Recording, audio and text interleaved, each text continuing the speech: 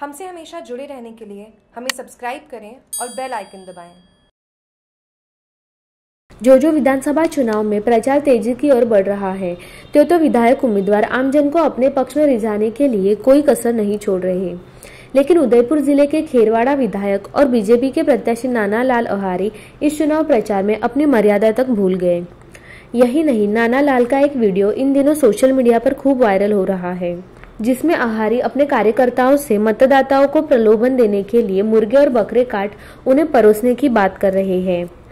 खेरवाड़ा विधानसभा क्षेत्र के एक बंद कमरे में कार्यकर्ताओं को भाषण देते हुए आहारी ने कहा कि बकरे और मुर्गे काटने से मतदाता राज़ी होगा और अपने पक्ष में मतदान करेगा।